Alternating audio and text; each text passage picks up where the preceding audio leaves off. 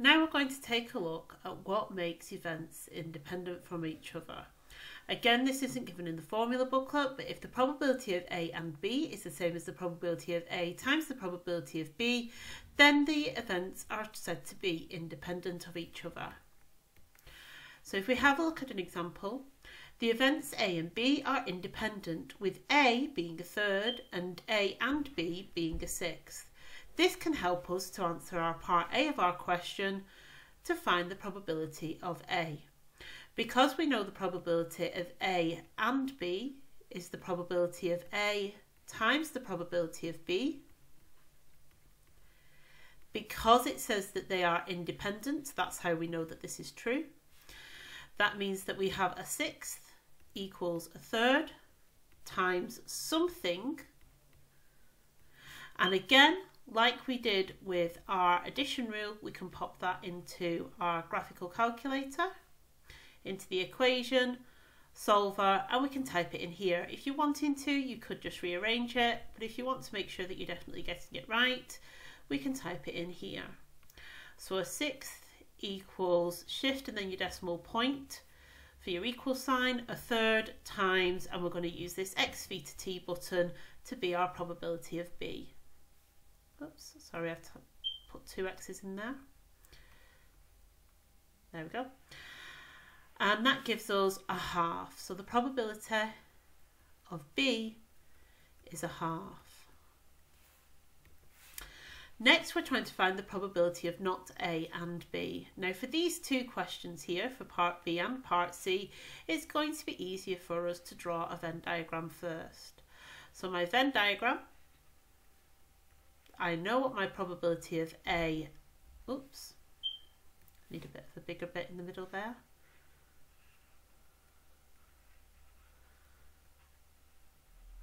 It's okay? My probability of A and B is a sixth.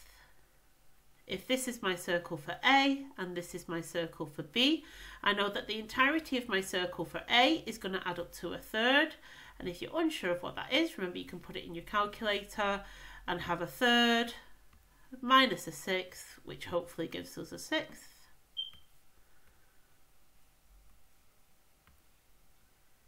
Good. So we know that this probability here is a sixth. Then for the probability of B, we know that that's a half. We've already had a sixth go in the middle, so we've got a half minus a sixth, and hopefully this leaves us with a third. There we go, a third. And as we did before, in the previous sections, we know that these probabilities are going to add up to 1. So we have a sixth plus a sixth plus a third, which should give us two thirds. So that means that we know that we have one third left over in the section outside of the two circles, but still inside our rectangle. Now I need my highlighters. Not A is everything outside of the circle for A. So that's everywhere I've just highlighted in yellow. B is going to be inside the circle for B. And because for this first one, it's and, I want where it's blue and yellow. So I want where it's made this kind of greeny colour, which is a third. So for B, the probability of not A and B is a third. For C, I want the probability of not A or B. So remember that's where it's yellow or blue or yellow and blue, which gives us a third plus a third plus a sixth, which should give us 5 6. So the not probability of not A or B gives us 5 sixths. I'm going to pause. You should take the opportunity to pause the video now and try the now you try question. So here we've got the probability of J is 0.25, the probability of K is 0.6, and again we are told that they are independent from each other.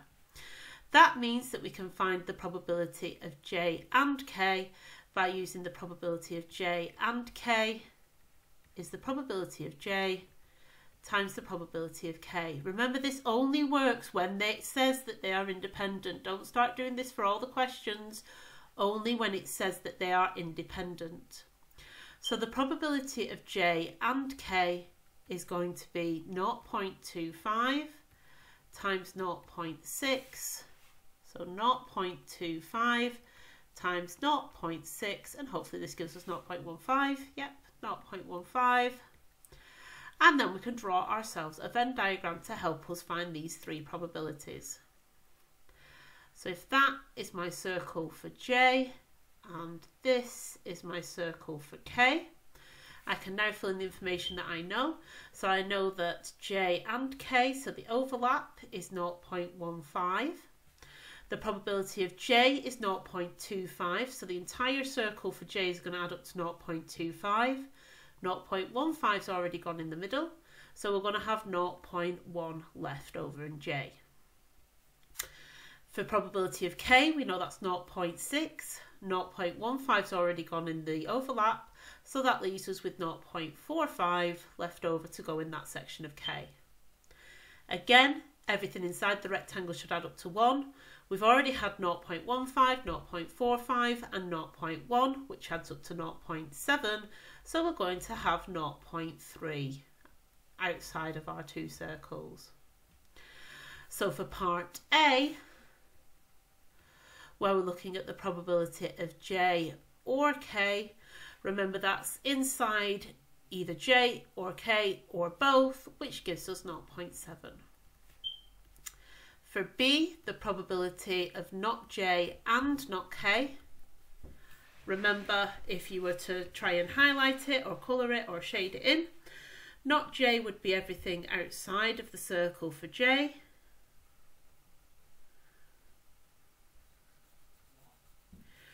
Not K is going to be everything outside of the circle for K.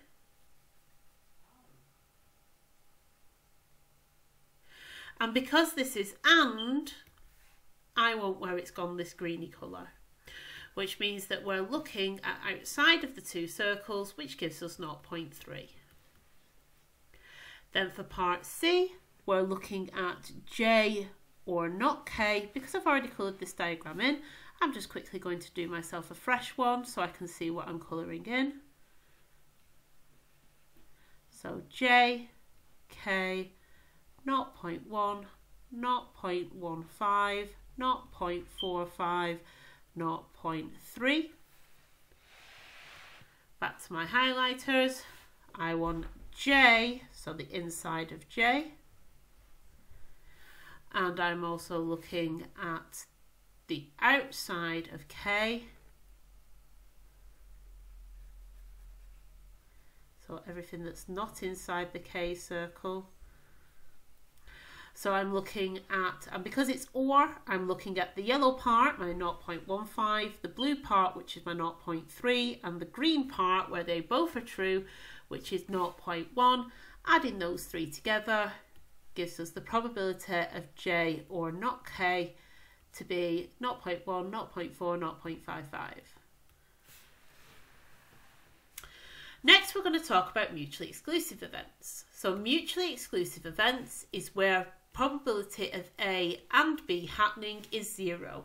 So mutually exclusive events cannot happen at the same time. So here we're talking about independence, but I'm also going to add a little bit to the end of these questions asking if they are mutually exclusive or not. So here we've got the probability that Luke does his homework is 0.4, the probability that Bryn does his homework is 0.5, the probability that they both do their homework is 0.23. Are the events of Luke and Bryn doing their homework independent. So to test this, we're going to have a look at the probability of Bryn times the probability of Luke and seeing if that is the same as the probability of Bryn and Luke. So the probability of Bryn doing his homework is 0.5, the probability of Luke doing his homework is 0.2, which gives us 0.5 times 0.2, which gives us 0.1.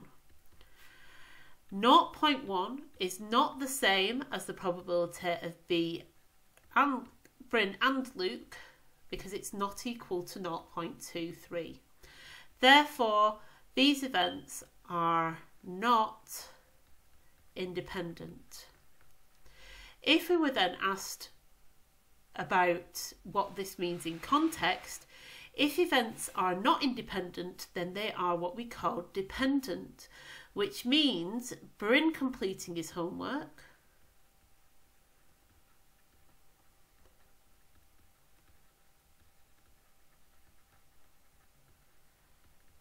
depends on Luke completing his homework.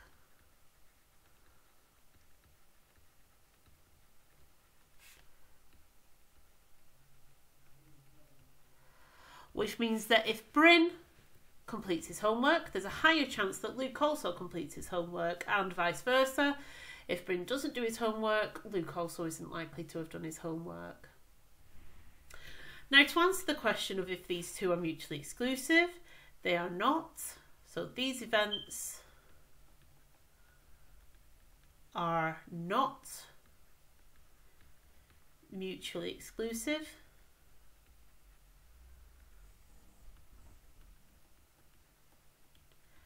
Because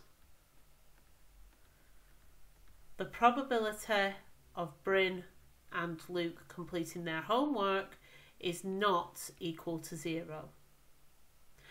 I'm going to give you a second now to pause the video, try the, the now you try question on this right hand side, and also give a think to whether you think that this is a mutually exclusive event. So hopefully now you've paused the video and you've given the now you try a go. So this time we've got the probability that Nayab is using her phone in class is not 0.8, the probability that Joe is using her phone in class is not 0.4, and the probability that they're both using their phone in class is 0.32, and we're trying to decide if Nayab and Joe using their phone are independent. So this time we're looking at the probability of Nayab times the probability of Joe on a phone is the same as the probability of Nayab and Joe on her phone. The probability of Nayab being on a phone is 0.8. The probability of Joe being on a phone is 0.3 is 0.4, sorry.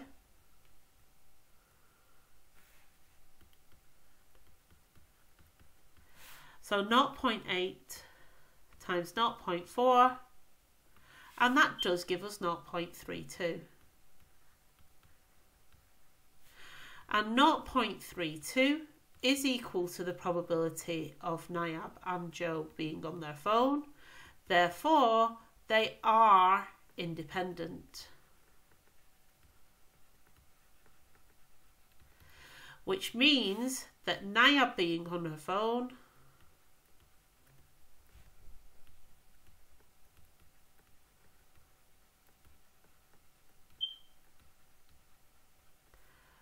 does not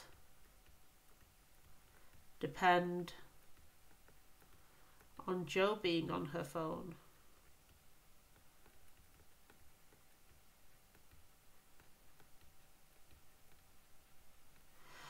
Which means that these two are not interacting with each other. Okay, so Naya being on a phone does not increase or decrease the likelihood that Joe is on her phone.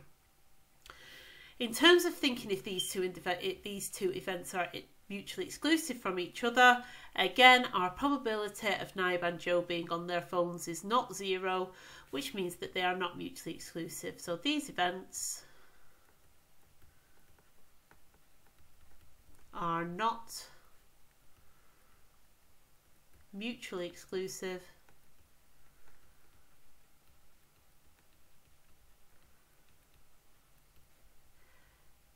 because the probability of Nayab and Joe being on their phones is not equal to zero. Now, if we were to have a look at a Venn diagram representation of what mutually exclusive looks like, we could have something along the lines of this, where we're going to have three circles, one representing A, one representing B, and one representing C, and if we then had to decide which of these events here are mutually exclusive, well, the circle for A and the circle for C do not overlap with each other, which means that there is no way that the event A and the event C can happen at the same time. So in this diagram here, A and C are mutually exclusive.